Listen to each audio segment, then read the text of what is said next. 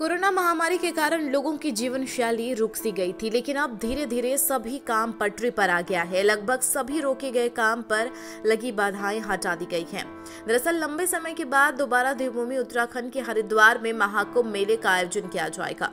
27 फरवरी से शुरू हो रहे महाकुंभ मेले के लिए हिमाचल पथ परिवहन निगम ने 25 विशेष बसें चलाने का ऐलान किया है।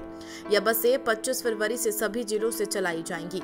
साथ ही HRTC फ़िलहाल प्रदेश भर से हरिद्वार और इसके आसपास के क्षेत्रों के लिए बत्तीस बसें चला रहा है। परिवहन निगम के प्रबंध निदेशक संदीप कुमार ने कहा, विशेष बसें चलाने के आदेश जारी किए गए हैं और श्रद्धालुओं की संख्या को देखते हुए इन बसों की संख्या बढ़ाई जा सकती है। मेले में जाने वाले श्रद्धालुओं की सुविधाओं के लिए निगम प्रबंधन ने नौ चार एक आठ शून्य शून्य शून्य पाँच दो नौ नंबर भी जारी किया है। यदि किसी को समस्या हो तो इस नंबर पर संपर्क किया जा सकता है। उल्लेखनीय है कि कोरोना की वजह से निगम घाटे में है और न ही कर्मचारियों को वेतन के लिए पैसे हैं। ऐसे में निगम का मानना है कि इन बसों को चलाने में आमदनी में सुधार हो सकता है। वहीं कोरोना के चलते बसों में नियमों का पालन करना होगा, श्रद्धालुओं को मास्क पहनकर ही सफ़र करना होगा।